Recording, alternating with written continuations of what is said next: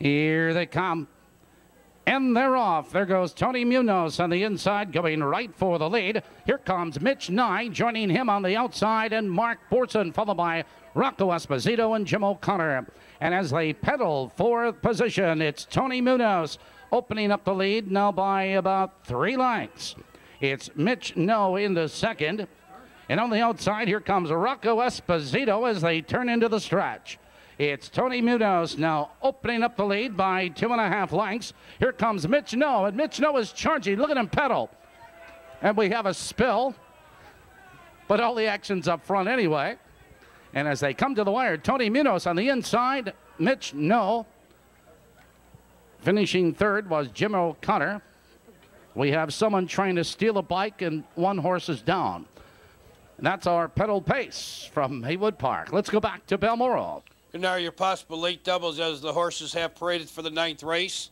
Coupling the eighth race winner, number two out of chances with the horse and drivers in the ninth.